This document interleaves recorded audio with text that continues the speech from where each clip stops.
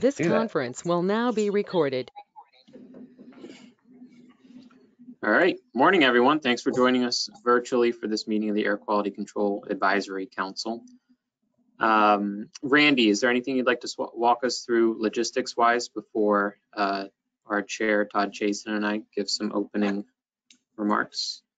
Uh, n- n- Nothing in particular. This is just a a reminder, today's meeting with the council is just to provide some briefing on upcoming climate actions that the department is uh, considering and working through at the moment. Um, We only have a, the only action item that we will be bringing before you is approval of meeting minutes um, from our previous meeting, and then just an update at the end of uh, some potential meetings uh, for the rest of the season.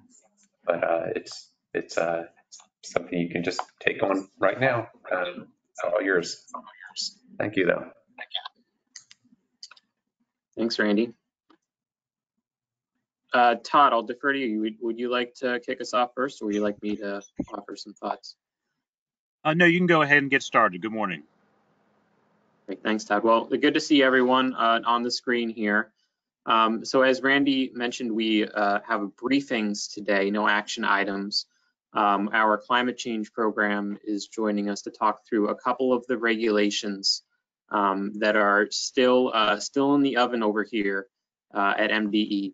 Uh, They are two regulations uh, called for by the governor's executive order on uh, climate change a couple of months ago. Um, they are in a similar uh, policy vein as some of the regulations you looked at lately. Um, they are dealing uh, mostly with greenhouse gas emissions and other pollutants uh, that come from buildings. Um, so Mark Stewart, our climate change program manager here at MDE, will provide that briefing. Uh, two very interesting new regulations uh, that we'll be bringing to the council um, uh, uh, in the first half of next year in the form of regulatory text after we um, do some more policy design, some stakeholdering here um, uh, before we uh, actually fully draft those regulations. So uh, today will be your first preview of those two um, uh, in some detail that we're implementing under the executive order um, and also the climate change uh, plan that we issued last December. Um, just some other uh, other news. Uh, we're coming up on the end of the ozone season here. Um, when we have a final count of um, ozone exceedances, we'll bring that to the council uh, with another update, and we'll see you know, sort of where we landed this season exactly and what our three-year design value means. Uh, as everyone will recall, the um, uh, the Canadian wildfires last year uh, bumped us out of attainment of the the latest ozone standard. Um, and so that kicked into, uh, you know, all the various policies, uh, procedures under the Clean Air Act where we're not complying with the ozone standard, so we have to do more, uh, more planning, more regs, uh, more requirements incorporated for large projects. Um, where we end up at the end of this ozone season will determine whether uh, we are potentially back in uh, attainment, um, uh, uh, depending on how EPA will act or not on our math about how to address the wildfires. So there's uh, uh, a lot of uncertainty there for the next couple of months, but hopefully by December we'll be able to bring a better picture to the council of um, what we expect the state's sort of formal attainment status with ozone will be uh, in the next couple of years. And then there will be formal processes uh, next year to sort of uh, uh, codify that uh, status, so to speak. Um, another uh, topic for National Ambient Air Quality Standards is that EPA, um, of course, updated the fine particle standard earlier this year. Um, our assessment so far indicates that the state is already attaining that standard. So uh, we will again be following the formal processes whenever uh, a standard is updated and you're already in attainment. There's a process you go through to demonstrate that um, uh, and to get that in place with EPA. So we'll be following that process here. Uh, we have until February uh, for that, but everyone uh, should expect that we are already attaining that standard. Um, so that should be uh, relatively smooth sailing in terms of the Clean Air Act processes. Okay, so um, uh, news that there will be news on ozone, uh, we'll see, and uh, news that there's not really much news on fine particles as, part of, as far as the Clean Air Act is concerned. Um, but after we approve the minutes here, uh, we'll hear about um, uh, a couple of regulations that are important for both climate change and ozone, because NOx is at play in these regs, as Mark will explain. Um, so looking forward to the, the council's input on these um, regulations at this phase where they're sort of uh, policy concepts that are coming together into regulation. Uh, and then we'll be bringing them to you again um, once they're more fully formed uh, for your formal action um, uh, early next year. Okay, Todd, those are my opening remarks. I'll turn to you to take us through the minutes and the briefings when you're ready. Excellent. Good morning again, everybody. Thank you, Chris, for the uh, the summary and the update. Randy, do we need to take attendance, or are you good with the electronic um, attendance on the screen? Um, we- We are, we are good with going through that, Todd. If you wish to just do in- introductions for the council, you're more than welcome. Um, This is, again, a little bit more of an informal meeting, but, but your call as, as chair. Uh, if you've got the attendance, and that works for me with no need for the uh, the formality. Um, as uh, Chris had mentioned, the only action item we have is the approval of the minutes. Uh, they were sent around by email last week, so everybody should have had an opportunity to take a look at it. Does anyone have any questions or comments before we vote to approve? Okay, hearing none, do I give, have a motion to, uh, to approve the minutes? I do, Sania, um, I do approve the meeting. Thank you, and a second? I'll second. Thank you, Weston. Any further discussion? Hearing none. Any opposition? Okay, the minutes are approved. I think we're ready for our briefing. Thanks, Todd. Okay, Mark Stewart, uh, Climate Change Program Manager here at MDE, will walk us through the briefing. Morning, Mark. Hey, yeah, good morning. Good morning, everybody.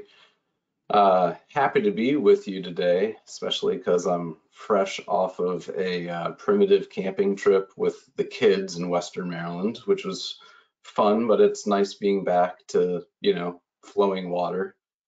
Um, let me see what happens if I switch to this to present mode. Can someone confirm that you're able to see that full screen? We are, we are, Mark. That's good. Great. Alrighty.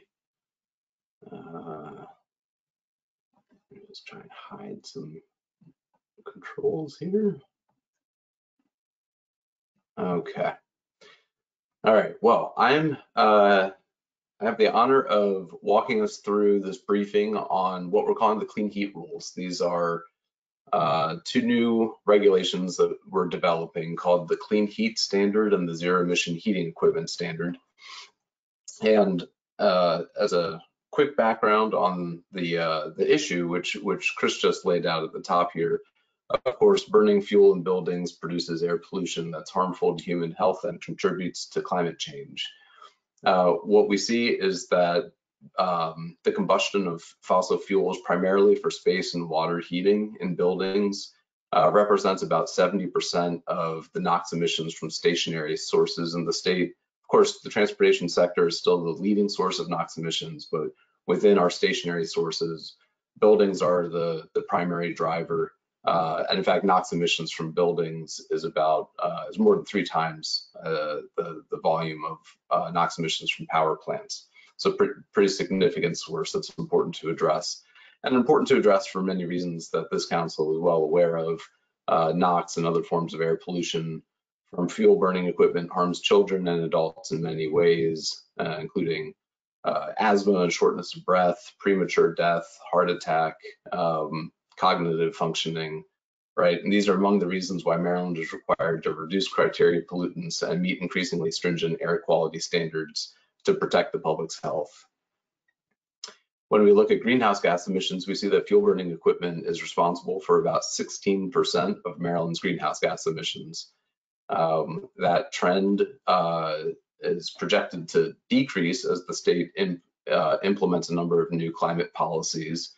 Uh, this is a projection that we've shown to you before. It's from our climate plan, most recent climate plan, which shows, among other uh, sectors, fuel use in buildings uh, decreasing over time in order to meet Maryland's requirements to reduce greenhouse gas emissions 60% from 2006 levels by 2031 and achieve net zero emissions by 2045.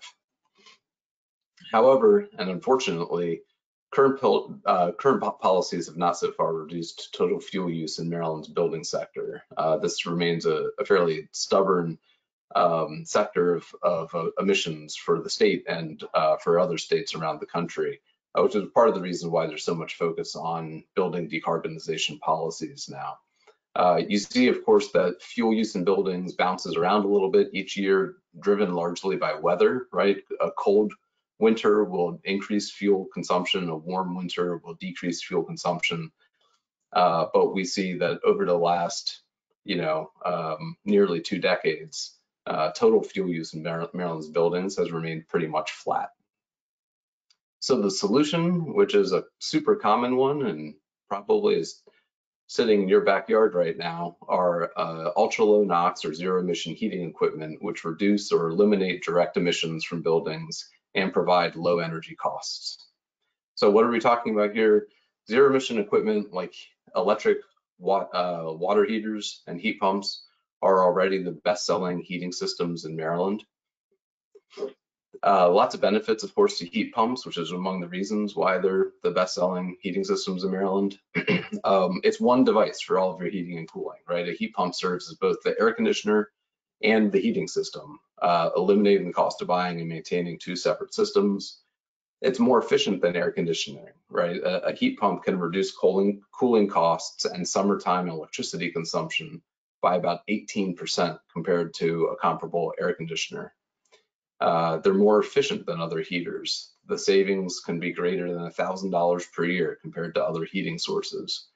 Uh, transitioning to a heat pump from a fuel burning uh, equipment can be part of a building's uh, total electrification and departure from the need for gas service in the first place, which can of course have other co-benefits like decreasing the risk of gas explosions. We've had several Marylanders uh, die and, and more that have been injured in recent years from uh, gas explosions inside of buildings. They of course improve air quality because uh, heat pumps are zero emissions. Uh, they improve occupant comfort and they're heavily subsidized by the federal government, uh, including a 30% tax credit for consumers, uh, rebates for limited income households, and millions of dollars of federal investment going to uh, expand uh, heat pump manufacturing. uh, they provide lower heating and cooling costs than other heating and cooling systems. Um, the uh, average Marylander who uses a heat pump saves about $700 per year on average compared to comparable heating systems. Uh, that uh, is as low as a $360 uh, per year savings compared with gas customers and up to uh, $1,670 compared with electric resistance customers. Those are people who, who heat their homes with electric resistance heaters. With heat pump water heaters, there's also significant savings. Uh, a heat pump water heater is three to four times more efficient than an electric water heater. Uh, so they save about $350 a year on average, and that's about $500 a year compared to electric resistance uh, water heaters and about $150 compared to gas water heaters. Upgrading to a heat pump water heater pays back within two years for the majority of Maryland homes. There are many federal, state, and EmPOWER incentives that reduce the upfront cost of replacing fuel burning equipment with heat pumps, including that federal 30% uh, tax credit that I mentioned earlier, providing up to $2,000 for all customers or consumers. Um, up to $14,000 in electrification rebates for low, moderate, and middle income households these rebates will begin flowing uh, to Marylanders in early 2025 through a program administered by the Maryland Energy Administration. Uh, the state also offers up to 100% of the cost for low-income households. Uh, that funding source is, of course, limited. We would need an expansion of that funding source managed through the Department of Housing and Community Development to fully cover the cost for all households that would uh, potentially need it. Uh, but but currently low income households, uh, many of them per year can get 100% of the cost covered by DHCD. The state also offers 0% financing for 24 months for a wide range of energy projects in homes and buildings. And then EmPOWER, in power, the utilities are rolling out really robust rebates Uh, one example is uh, here, I live in the Pepco area. Um, Pepco is currently offering a $1,600 rebate on a heat pump water heater, which is pretty remarkable. You might be wondering, well, with all these cost savings uh, and all these incentives for it, are additional policies really needed to help drive it? Uh, and yes, in, in fact, what we what we've seen and what other organizations have reported is that additional policies really are needed because the typical customer, when you when your heating system goes out, you call a contractor and you say, hey, you know, my heat's out, and they come and if you need a new furnace, uh, you know, the simple approach for them is to replace that existing furnace with a new furnace. So part of this is about set, setting up a policy um, framework that really encourages the the contractor to talk to you about the incentives that are available for these other options and to drive the market toward those cleaner heating solutions that also save you money at home. Uh, the Northeast Energy Efficiency Partnerships show that uh, clean heat standards and zero emission heating equipment standards stack among other policies that support uh, building decarbonization. And Maryland is considered to be a leader in this space and having multiple uh, policies that, that are supporting this transition. So the Zero Emission Heating Equipment Standard, or ZHES, and the Clean Heat Standard, or CHS, address critical policy gaps. One, when we zoom out and look at the building sector, of course, we've got a lot of emissions associated with the electricity that all buildings use. Um, our clean power policies are reducing emissions from the electricity supply, uh, but they don't reduce direct emissions from buildings. EmPOWER is effective at reducing direct and indirect emissions from buildings, but it's not fast enough to meet the uh, state's decarbonization goals. Building energy performance standards, of course, uh, apply only to large buildings. Uh, those buildings are responsible for around 10% of the residential commercial building emissions. So we need some additional policies that focus on the other 90% of the emissions, direct emissions from the building sector. We have no existing policies that focus on small fuel burning equipment, as ZHES will do. No existing policy requires emissions to reduce fast enough to achieve the state's climate goals, as the Clean Heat Standard will do. And the Clean Heat Standard, very importantly, provides additional incentives to help people achieve BEPS and ZHES. For these reasons, Governor Moore issued Executive Order 19 of 2024 requiring MDE to propose ZHES and CHS. Specifically, we're ordered to propose a zero emission heating equipment standard regulation that will phase in zero emission standards for heating equipment to reduce carbon pollution and improve air quality inside homes and the ambient air. And propose a clean heat standard regulation to expand Maryland's renewable portfolio standard to the thermal energy system, mobilizing investment in clean heat solutions for homes and businesses. So first, I'm going to talk about the zero emission heating equipment standard. Frankly, between the two, this one is a much more straightforward regulatory program. Uh, it, it uh, fairly simply sets um, emissions standards or emissions limits for space heating and water heating equipment, right? So the equipment that's covered includes furnaces, boilers, and water heaters. And similar to emission standards for cars and trucks, ZHES sets emission standards for this type of typical fuel, fuel burning equipment. Three states have already adopted low NOx uh, standards for water heaters, and at least 10 states are considering zero emission heating, heating equipment standards for both heating equipment, space heating equipment, and water heating equipment.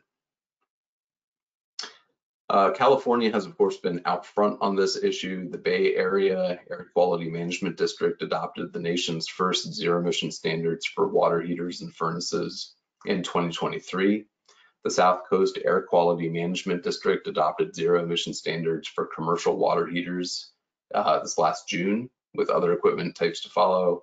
And the California Air Resources Board has committed to implement zero emission standards statewide by 2030 and it's currently developing those regulations. In our region, NESCAUM, which is the Northeast States for Coordinated Air Use Management, is developing a ZHES model rule with input from, from state air regulators, uh, including ones in California, and heating equipment manufacturers.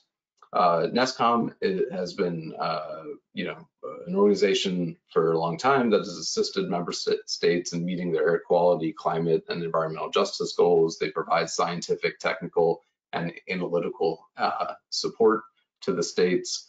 Uh, and importantly, they're also the organizer of the Ozone Transport Commission, uh, which extends from Maryland to Virginia.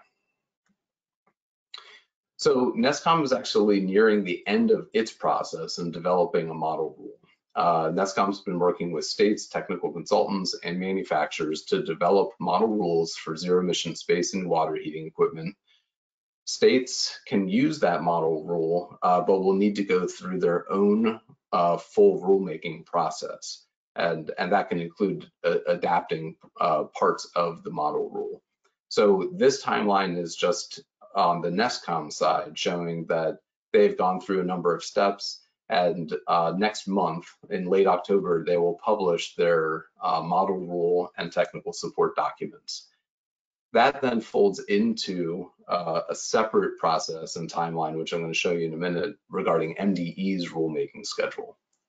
So the inputs, uh, many inputs to the ZHES model rule uh, including NOx standards for water heaters that uh, that the Regulatory Assistance Project published last year, uh, the the proposals and uh, active regulations in California, uh, the cost and market feasibility assessment, uh, health impacts analysis, um, recommendations from technical consultants, inputs from stakeholders, including very importantly manufacturers and members of NESCAUM's Environmental Justice Advisory Group. So the very basic architecture of the model rule, it covers NOx and combustion greenhouse gases. It covers furnaces, boilers, and water heaters, including those that run on natural gas, heating oil, and propane. It requires a low NOx or zero emission option when installing new equipment in both new and existing buildings after a specific uh, compliance date. It does not require changing out any existing functional equipment it has nothing to do with cooking equipment. Uh, it allows for existing equipment to be serviced and, and maintained uh, beyond the compliance period uh, dates. And it allows for the temporary installation of non-compliant equipment. Actually, th this last piece is really important because uh, for people, including some folks on my team who've gone through electrification projects recently, switching out, you know, fuel burning equipment with heat pumps, uh, there can be an extra step in some cases of needing an electrical service upgrade to the house, be you know at the panel or um, or even sometimes even a, a heavy up uh, of of the electric service to uh, the building. In those cases, that's that's a, an additional timeline that it can take uh, to implement you know the installation of the, the heat pump. Um, so for those reasons, we are, you know, following, working with other other jurisdictions, following the lead of other jurisdictions that are allowing for the temporary installation uh, of up to six months of, you know, a furnace. If, you, if you, your furnace dies in the middle of winter, a contractor can come in and same day, you know, replace your furnace with another working furnace to get your heat restored. Uh, but then that would just be a, a, a loaner piece of equipment um, and the contractor would come back, um, you know, probably after the winter has ended and do the full uh, upgrade of your equipment and service. so MDE intends to get stakeholder input on the model rule later this year and to adopt a final ZHES rule by the end of 2025. Um, our, I actually, I'm going to end this presentation with a little bit of an overview of our outreach schedule coming up. But basically, this fall, we'll be seeking input on the model rule and meeting with stakeholders, and also trying to convert the model rule into a Maryland rule.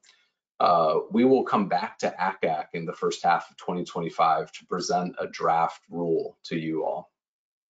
Uh, we'll then, of course, go through the rest of the process of publishing the proposed rule and holding a public hearing uh, with the goal of adopting the rule by the end of next calendar year.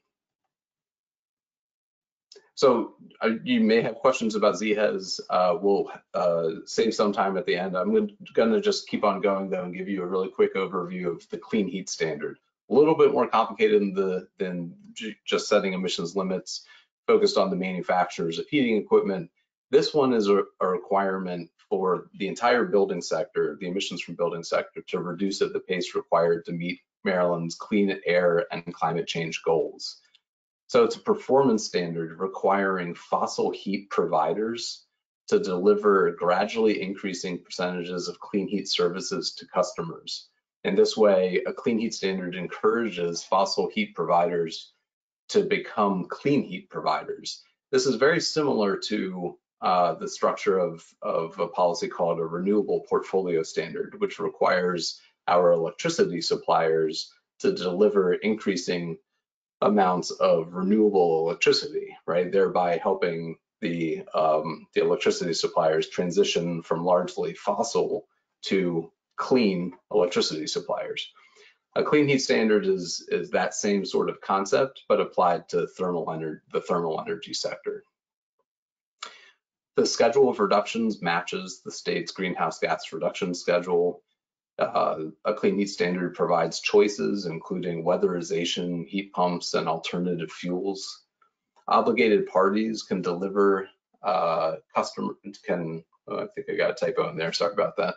Uh, can help customers convert to zero emission heating equipment standards, deliver alternative fuels, or purchase credits from others and just about um, anything from existing programs or many things from existing programs that are already deploying these clean heat measures, right? Like the, the federal incentives that I mentioned earlier for heat pump installs. A lot of consumers are taking advantage of that. That's great. Every one of those installations or things that are done through EmPOWER generate clean heat credits and help the obligated parties meet their obligations. So the basic structure here there's a state specific rule placing a quantitative obligation on fossil heating companies to create clean heat credits by delivering clean heat services directly or through a third party to customers, right? And, and those, those measures can be building insulation, heat pumps, uh, alternative fuels, or other measures. The obligated parties are the, the pipeline gas utilities and companies that deliver heating fuels, including fuel oil and propane. Uh, third parties, including HVAC contractors and housing providers, are not obligated. They can, however, earn clean heat credits and sell them to obligated parties. Building owners and residents are also not obligated, uh, but they benefit from the investments that others make in generating clean heat credits. The obligated parties have to reduce greenhouse gas emissions by ensuring the delivery of clean heat services to Marylanders. Uh, the obligation is in proportion to each company's fossil heat sales, and clean heat credits are earned by actions at customer locations in Maryland that reduce emissions measured in tons of greenhouse gases or carbon dioxide equivalents. Uh, credits must be retired each year and obligated parties have the option to outsource their obligation to the state's designated delivery agent. In other words, if if you're a company that delivers um, you know fuel oil to customers and you don't care to, to diversify your business to get into delivering more clean heat solutions, uh, you can pass your obligation to, to, to earn and retire credits uh, to another entity. Lots of different actions can earn clean heat credits, including weatherization such as air sealing and, and adding insulation to buildings, uh, installing, of course, zero emission heating equipment, and uh, helping customers utilize alternative uh, fuels, including biofuels and hydrogen. Although very importantly to note, alternative fuels are evaluated on a net life cycle emissions basis and there are some other important environmental guardrails uh, that we put in there, right? Like with, um, well, first of all, there's there would not be fossil to fossil fuel switching, right? So if a customer is simply switching from fuel oil to natural gas, that has some emissions benefits, uh, but it's not it's not part of the clean uh, heat transition that we're trying to enable for the state. So there would not be credits for fossil to fossil fuel switching. Uh, the credits that would be earned would be based on life cycle emissions using the EPA and Argonne National Labs GREET analysis. And we'd also set some guardrails such as biomethane has to actually be delivered in methane in, in uh, Maryland. Uh, you can't have a, a landfill in Wisconsin generating, you know, renewable gas and taking credit for deliveries in Maryland. It actually has to be used in Maryland. Very importantly, equity is a core goal of the Clean Heat Standard. It's a mandate for us to leave no one behind in the transition to a clean energy future. Progressive, uh, uh, progressive inclusion mandate requires the delivery of clean heat services to low and moderate income households and supports the weatherization projects and heat pump installations that reduce household energy costs and address energy burden in our state. So the very basic schedule here is that in 2026, obligated parties would begin reporting data to MDE and they could earn early action credits, right? So 26 is basically just a reporting year. 2027 is the first year when obligated parties would begin registering, again, either directly or through a contractor, enough clean heat credits to meet their annual obligation consumers begin receiving additional information about and incentives for clean heat services in that year. We see lots of benefits to a clean heat standard. It sets a clear, predictable, long-range schedule for Maryland to transition from fossil heat to clean heat, which is a transition that we think is going to take, you know, about 20 to 25 years. It's a long, long-term transition. Obligated parties are motivated to promote the lowest cost options for deploying clean heat measures, such as promoting the existing incentives. It supports other policies and provides incentives to help building owners pay for ZHES and BEPS. It assures benefits to low and moderate income families, allows diverse heat sources, resources, and customer choice. It supports heat pump installations with credits and, and promotes replacement before failure and actually, th this is an important component of the clean heat standard as in as we consider it uh, uh, in parallel with the ZHES. Um, ZHES only looks at the replacement of equipment at the end of its useful life. Looking only through that lens, we do not decarbonize Maryland's buildings fast enough to achieve the state's climate requirements. Uh, so, so providing additional incentive to help people switch to heating equipment that'll save them money earlier is part of the design goal of a clean heat standard. Uh, and of course, it's it's paid for by um, by the users of fossil fuels. There are no electric rate impacts. At least 10 states, including a cluster of states in the mid-Atlantic and Northeast, are developing or considering a clean heat standard. So this is a snapshot of our uh, timeline for developing the rules around the clean heat standard. We started more than a year ago when we secured technical assistance from the Regulatory Assistance Project or RAP, who last year, around this time last year, published a paper on how the clean heat standard would work in Maryland. So this information has been out there for, for quite a while now. Uh, we began drafting a clean heat standard rule with RAP support uh, and uh, initiated the process of doing the emissions, health, and cost impact analysis. This fall, we intend to get input from stakeholders on components of the draft regulation, and then in the first quarter or first half of 2025, present a draft reporting rule to you all at AQCAC. Uh, the goal is to adopt a reporting rule by the end of 2025, and then in 2026, present to you all the performance standards that would be layered into that rule uh, with the goal of adopting performance standards by the end of 2026. And just as a quick wrap up here, looking ahead to our stakeholder, our, our stakeholder engagement uh, plan for the next few months here. Uh, so today we're previewing ZHES and CHS for you all. Uh, in October, late October, we think, NESCAUM is going to do a webinar on the ZHES model rule. And then in November, we will do our own webinar to get more information out about ZHES and the Clean Heat Standard. We'll launch a process for collecting stakeholder input. We'll meet with obligated parties and other stakeholders. And of course, December and, and probably for many months beyond that, we'll have additional meetings with obligated parties and stakeholders about these rules. Um, we encourage you to uh, reach out with any questions. Our uh, policy analyst, uh, Cameron uh, Arnstein, is going to be assisting us with the outreach, so feel free to reach out to her. And with that, I would be happy to take any questions or comments that you all have about what I presented. Thank you, Mark. Um, obviously, we're going to have this, both of these issues come back before the committee over time, but um, to the extent first that committee members have questions, this is a good time. Uh, uh, this is up, Ross. I have a question. Uh, first off, uh, great job, Mark, as always. Uh, so for the CHS, the part of it that's a little disconnected in my mind is I assume that, you know, the entity is the gas company that, you know, provides natural gas.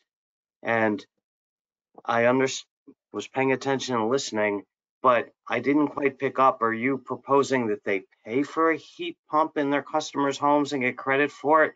You know, it says install heat pump, but who pays? These are expensive items. And why would a gas company possibly do that? They're not going to then sell gas to the customer. So I have kind of a major disconnect in um, in some of the key bullets of that. Could you take this and run with it, please?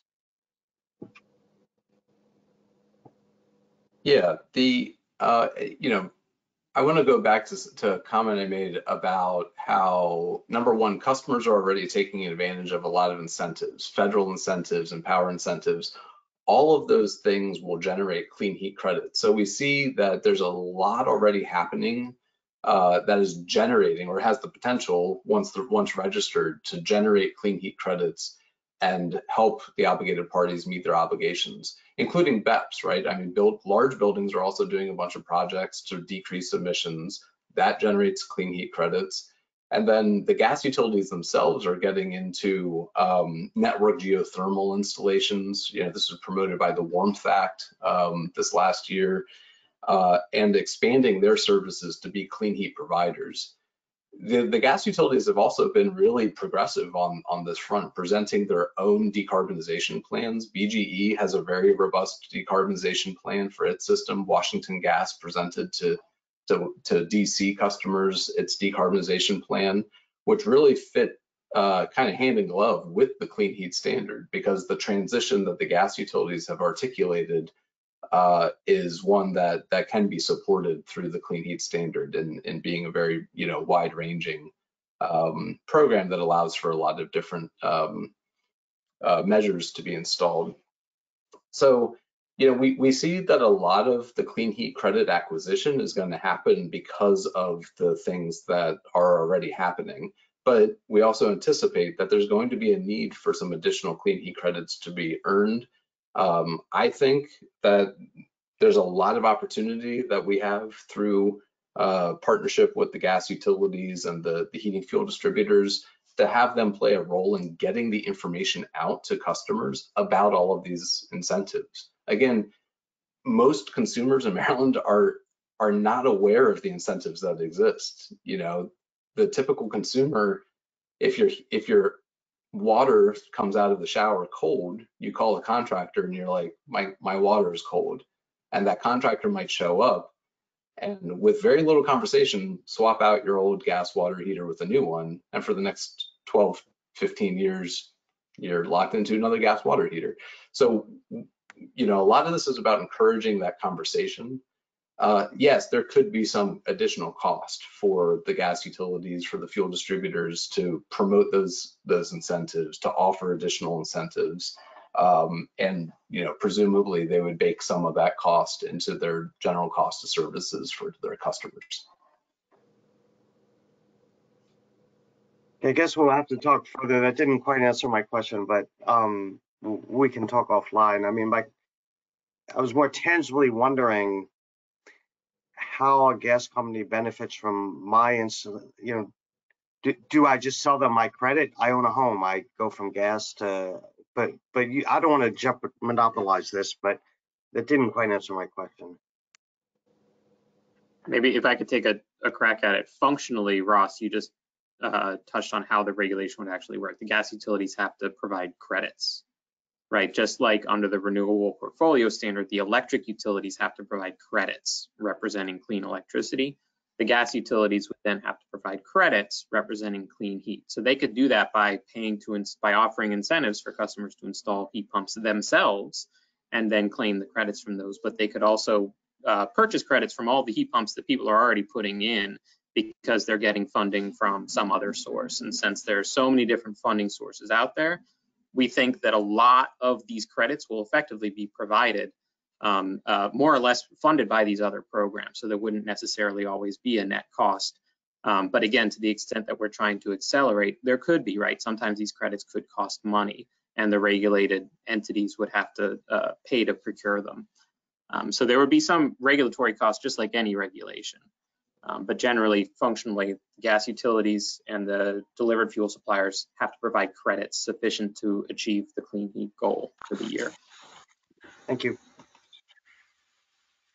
Hi, uh, this is Sunny Park. Just uh, out of curiosity, so uh, you mentioned about like alternative uh, fuel as a hydrogen, and is there like any, I mean, any like a picture that you see that will be hydrogen bio like a unit will be out there? Because I haven't seen that yet. So know, I mean, we, the, the, the zero emission heating equipment standards, you know, again, it's important to, to, to uh, see these two things moving together because what we see in, in terms of the, the typical solution for small, regular heating equipment that delivers, you know, low temp space heating and water heating, which is the, the majority of our uh, energy use and, and emissions um, from the building sector.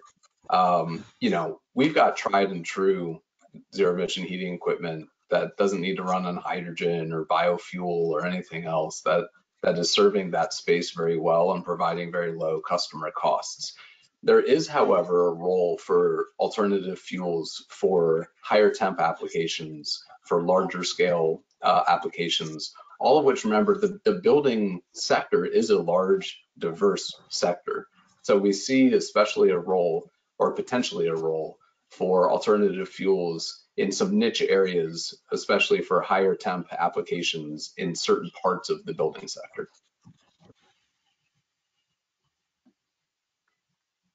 Dan, I think I see your hand up.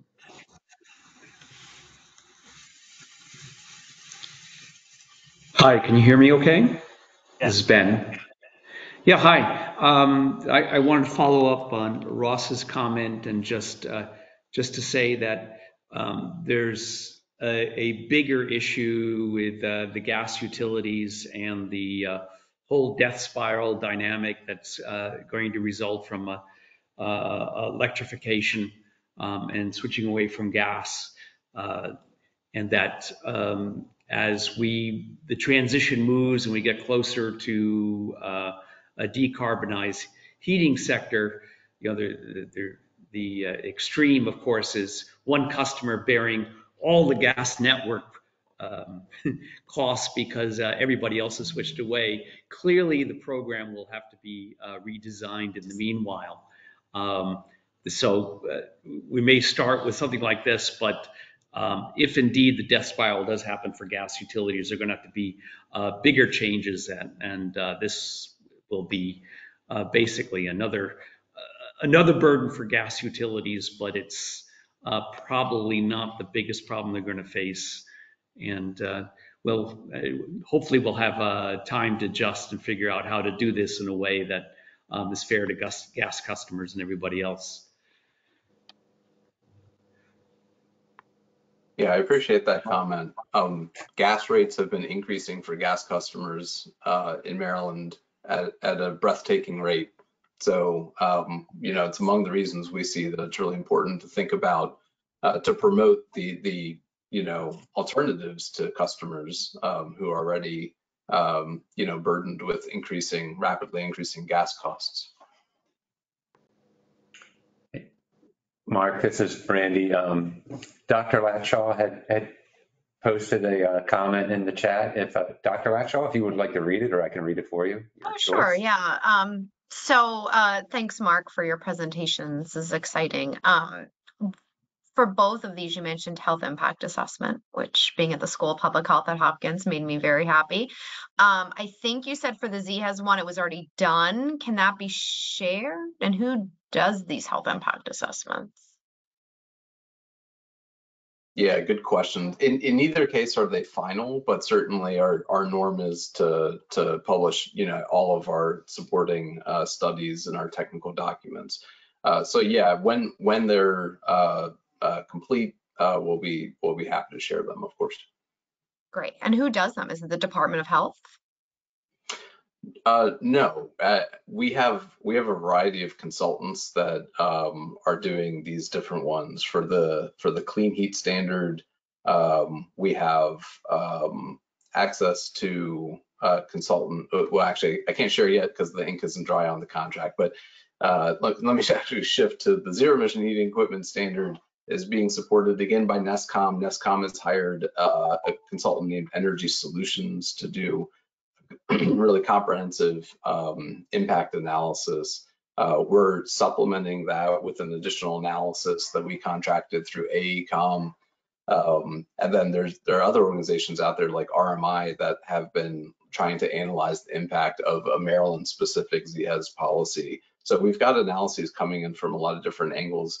Um, and conveniently, you know, they're they're really um, kind of corroborating uh, each other and and helping us kind of um, you know hone in on on a, what we think is a, a pretty, pretty reasonable expectation of the impacts because there's so much consistency in the findings between these different ana analyses or at least the draft analyses that we've seen so far. Great, thanks. I don't see any other hands up. Are there any other questions from the committee? I see that there are 47 people on here, which is much more than both MDE and the committee. So to the extent that members of the public have any questions, this is an opportunity. And, and Todd, there was, this is Randy, um, there was one um, comment or question that was posted in the chat. Um, I'm not sure whether you can read that, Mark, or um, we can read it off for you if you like. Uh, is this regarding Dave's comment? Uh, do we have a backup plan in case CO2 capture does not work? Yes. That's Yeah. correct. Uh, good, good question. So this is maybe referencing one slide that I showed that sh- that showed the emissions trajectory under our climate plan, and in our net zero emissions by 2045 scenario and and modeling, uh, there's a role for uh, CO2 removal technologies to um, to capture some of the CO2 emissions that are still being emitted by uh, economic activities in Maryland.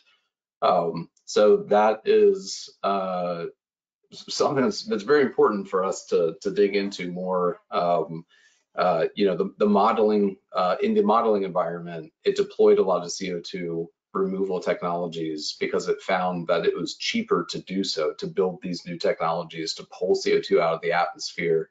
It was cheaper to do that than to squeeze the last bit of, uh, of emissions out of Maryland's economy. So in the modeling environment, that's why it has the role that it has. Um, there's of course, you know, year by year, we have technology advancements, the economics of uh, reducing emissions uh, changes. So I think that that piece uh, in particular is a piece where we're going to focus more and more in our future modeling and uh, in the development of our next climate plan. By the end of this decade, the state's final plan to achieve net zero emissions by 2045 is due. So it's on our on our on our to-do list to to further refine the um, the expectations around CO2 removal technologies in the state's final net zero emissions plan. Uh, but but our our primary primary focus right now is a 60% reduction in gross greenhouse gas emissions uh, by 2031. Uh, so we're we're not really diving into the deployment of CO2 removal technologies at this point to support the long-term net zero goal.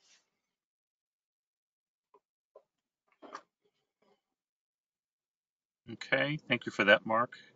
final call for questions. Oh, Mark, thank you very much for that presentation. Thanks to everybody at MDE for this important briefing. It's very helpful for us to get this information ahead of time to begin to think about it and to formulate questions. To the extent that the committee members have additional questions that they want to ask between now and the next briefing, please feel free to send those to the department so that we can keep the conversation going. This is obviously going to play out over a, a multi-year period. Um, anything else from uh, the department, Chris? Should note. that- Go. The, yeah, go ahead, Randy. I was just going to note the uh, upcoming uh, council meeting dates that you should all have on your calendar. December 9th. It's uh, Sep- Sep- September 16th That's now. um, is the, is the next planned one. Ross seems That's perplexed. Did today. you not get That's us. us today? That's Oh, I'm That- so I'm sorry. actually Good God listening. almighty. You're You're today. technically December correct. ninth. Don't mind- don't mind me. Yeah, so, so make sure you're all here today. Uh, It's December 9th. I'm so sorry. I'm so used to reading off what's at the bottom of the thing. Um, December 9th is our next one that we have uh, planned. We are potentially planning on bringing an action item uh, before the council at that point, uh, uh, a minor one, as well as potentially some continued updated briefings on our climate plans. So, um, and at that, at that time, we will also be pro- providing to the council uh, some proposed dates for 2025. Thank you, Chris. Great. And I'll just add as a follow-up on uh, a prior action item, you'll recall we reproposed the Building Energy Performance Standards or BEPS, uh, which Mark mentioned a couple of times. Uh, That uh, proposal is out. It published in the Maryland Register. It's out for comment now. Um, Our, uh, our hearing for that is, uh, Carolyn, help me, October the Ninth, 9th. October 9th. Um, So that, uh, that regulation is moving along. Excellent. Thank you. Thanks to everybody for joining us. We'll see you again in just a couple of short months. Thank you all for your participation and the council is adjourned.